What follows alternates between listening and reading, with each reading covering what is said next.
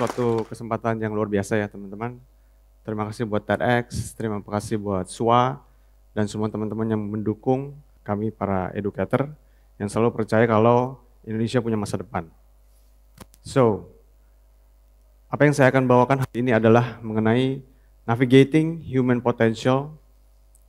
Bagaimana potensi manusia harus kita navigasi untuk bisa belajar di era artificial intelligence. Sedikit perkenalan mengenai saya. I'm a technology mentor di Apple Developer Academy. So mind my English and Indonesian in a mix karena aku sehari-hari harus interaksi dengan 200 Indonesian learners.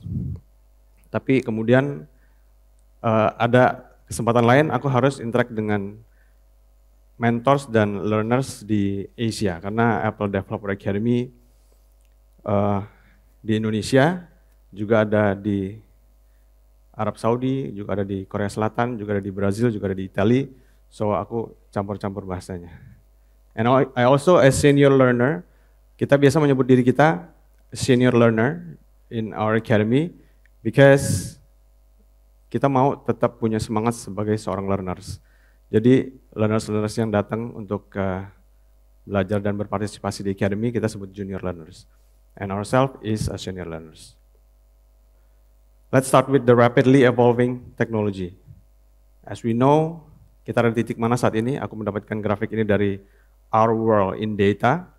Dan kita bisa lihat di sini, semakin lama perkembangan teknologi, semakin eksponensial. Kalau Moore's Law bilang setiap dua tahun, itu transistor akan berkembang menjadi dua kali lebih cepat, tapi sekarang perkembangan teknologi hitungannya mungkin sudah per enam bulan. And that's why kita tidak bisa lagi menggunakan pendekatan-pendekatan yang sama cara kita belajar seperti 10 atau 20 tahun yang lalu. Dan perkembangan teknologi tersebut juga sudah membawakan impact yang nyata kepada society, institutions, organisasi-organisasi, dan bahkan budaya. So this is two graphics yang aku ambil dari Forbes. Jadi Menurut laporan dari Forbes Financial and Banking Sector, ini di China case-nya, itu by 2027, 23 persennya sudah akan di replace karena perkembangan teknologi. And di sektor yang lain, media dan marketing, in 15 years, bahkan 90 persennya sudah akan di take over by the disruptions of technology AI. So when I say perkembangannya sudah per enam bulan, ternyata semakin nyata. And then another examples, factory di China yang awalnya workforce-nya itu 650 orang, kena disrupsi dan menyisakan 120 orang. 650 menjadi 120. I think very close to 90% ya. Tapi 250% peningkatan produktivitas. Orang yang berkurang 90 persenan, produktivitasnya meningkat 250 persen. Dan defect yang dihasilkan berkurang 80 persen. And here is the twist. 120 workforce yang dimaksud di sini sebenarnya 60 of them are robots. Berarti tinggal 60 pekerja di sana. And menurut McKinsey Global Institute, by 2030 akan ada 375 juta jobs worldwide yang akan displaced by automations. Tapi dia nggak sebut dan kita semua yakin kalau akan ada pekerjaan baru. 375 terreplace, and I believe ada banyak pekerjaan-pekerjaan atau profesi-profesi yang kita belum tahu saat ini pekerjaan apakah itu. We never know about prompt engineering 10 tahun yang lalu. Kita mundur 10 tahun lagi kita belum pernah tahu ada yang namanya content creator. So aku yakin walaupun 375 juta akan replace tapi akan ada pekerjaan-pekerjaan baru yang teman-teman semua atau generasi-generasi muda ini akan ciptakan. Kita akan menjelang generasi emas Indonesia 2045. Let me build this urgency supaya kita semua terinspirasi untuk bergerak, terinspirasi untuk memulai apa pun yang kita ingin lakukan. So pada saat 2045 kita ada di 100 tahun Indonesia merdeka. Saat ini pun data ini aku dapat dari Kominfo tahun 2022 kita sudah mengalami bonus demografi. Generasi muda kita 15 tahun sampai 64 itu sudah sebanyak 60% lebih, bahkan 69% di data ini. Itu artinya bonus demografi sudah terjadi di Indonesia. And we still have about 21 years sampai dengan usia Indonesia emas yang mana kita harus target itu sebagai puncaknya.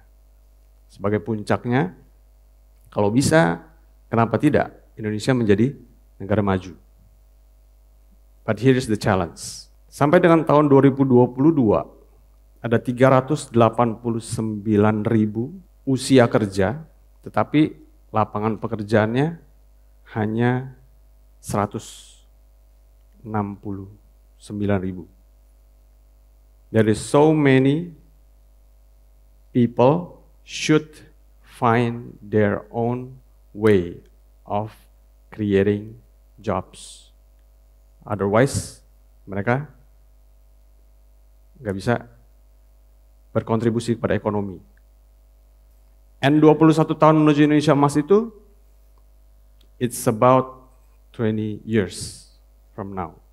Jauh atau dekat? Tapi aku pengen lebih optimis. Kalau dia hari ini lahir, dia akan menjadi usia produktif, yang masih ada kesempatan dibentuk oleh our society. And to be optimist, aku divide itu menjadi bulan.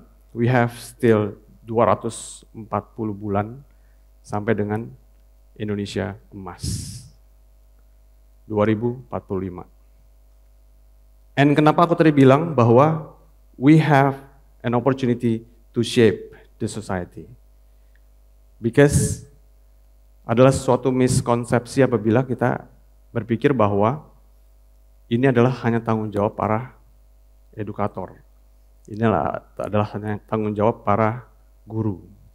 Ini adalah hanya tanggung jawab pemerintah.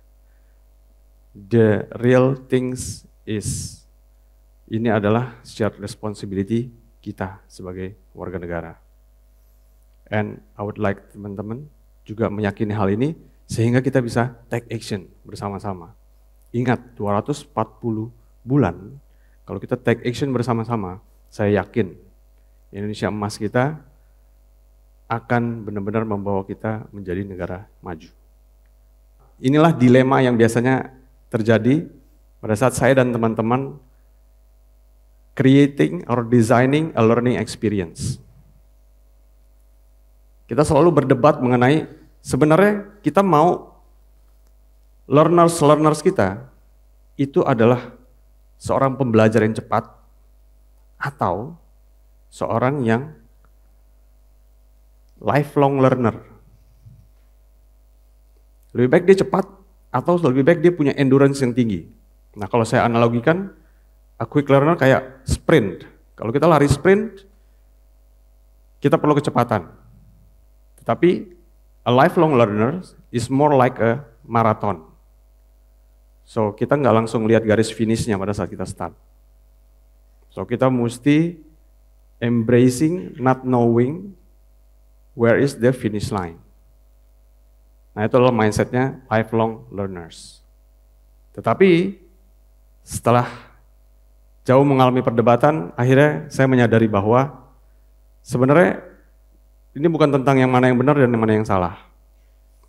Tetapi itu adalah mindset yang harus kita adjust. Ketika kita lihat targetnya dengan jelas, the mindset of a sprinter yang harus kita gunakan. Ketika kita belum tahu, ketika kita solve a problems, yang kita belum tahu jawabannya apa, dan kita masih harus melakukan riset, dan kita harus pakai mindset jadi seorang pelari maraton. So we have to manage the pace and eventually become a lifelong learner. Dan dengan perkembangan teknologi yang ada sekarang, yes, we can enhance our speed. We can enhance juga our comprehension terhadap suatu topik. Jadi tidak perlu kita ragukan kita akan lebih less worried about information, less worried about content, less worried about teori-teori. Karena we can learn alongside with artificial intelligence. Walaupun aku tahu di dunia ini sekarang masih ada two sides yang merasa uh, positif about AI dan ada yang merasa negatif about AI. But, but I believe in balance. Kita perlu kedua sisi itu karena memang AI pun perlu diregulasi. Misalnya, AI apabila kita prompt untuk menciptakan sebuah image mengenai manusia, saat ini AI hanya belajar lebih banyak refers to orang kulit putih. So AI masih punya bias. That's why aku ngerasa When we share this responsibility, we can help the generations learn alongside with, with AI while we are keeping in guard dengan learners-learners kita, generasi-generasi muda kita, supaya mereka bisa mendulang sebanyak-banyaknya manfaat dari teknologi, perkembangan teknologi, tetapi juga menjauhkan mereka dari hal-hal yang belum terregulasi dengan baik. So, this is the first thing yang aku pikir sangat relevan untuk kita bisa lakukan dalam pembelajaran-pembelajaran yang kita ciptakan di mana pun kita berada. Bahwa kita harus build more interest with human. Karena ke depannya easily orang akan masuk dan masuk ke silo mereka hanya hidup dengan their gadgets. And we should build this interest about human. And next is emphasize interdisciplinary. Ketika kita belajar satu hal, kita harus libatkan mereka sehingga mereka terekspos kepada banyak disiplin ilmu. Jadi tidak lagi di dalam silo ilmu tertentu, mereka belajar sangat lama tapi segera ajak ke sebuah experience yang interdisciplinary. And next is focus on soft skill sama adaptability. Again, kita udah less worried about information, content, teori. We need to focus on soft skills and adaptability. Dan ini juga penting. Aku yakin Menteri Pendidikan dan Kebudayaan kita sudah menyampaikan hal ini sangat banyak bahwa kolaborasi industri dengan education harus diperkuat. Karena belajar hanya di ruang kelas saja saat ini kita hanya ketemu teori dari use case-use case yang sudah lalu, tapi kita harapkan ini generasi siap buat masa depan. Itu tidak make sense. Apabila kita berkolaborasi dengan industri, learners kita akan langsung terekspos dengan apa yang saat ini sedang dihadapi industri. Itu pun masih kita tidak tahu apakah di masa depan industri ini akan ter terdisrupsi seberapa jauh. And last is fostering innovation ecosystem. In this innovation ecosystem, I would say tadi teman-teman bisa dengar dari speaker-speaker sebelumnya, we need to embrace failure. We need to build a psychologically safety environment. We have to think like a beginners. Because right now, being an expert is only a one, two steps away because we have a very sophisticated technology with us. And lastly, aku mau balik lagi ke strengthen industry educations and collaborations. Aku meyakini bahwa hal ini terasa seperti wah dua organisasi harus bekerja sama. But this is a tips for each individual, each persons in their own professions. If you want to contribute, if you want to invite para pelajar untuk mengenal profesi Anda, we can use AI prompt like this. Easily, teman-teman bisa menggunakan prompt ini and you can create a very engaging activities dan mengundang banyak pelajar ataupun siapa pun yang mau belajar untuk mengenal profesi Anda dan bersama-sama tidak hanya lagi seorang edukator yang harus melakukan hal ini, tidak lagi seorang guru yang perlu memikirkan hal ini. Dengan mudah kita bisa ciptakan sebuah flow of activity. Contohnya, saya adalah seorang influencer yang mempromosikan gaya hidup sehat, terobsesi dengan olahraga lari dan bersepeda. Dalam durasi 60 menit saya ingin berkegiatan pembelajaran yang menyenangkan bersama berapa orang siswa untuk memperkenalkan apa. Dan prom ini bisa teman-teman kembangkan menjadi lebih spesifik. Kemudian tiga saran yang kita harapkan dari generative AI, and believe me, you will get a good reference to contribute to Indonesia Emas 2045. Terima kasih.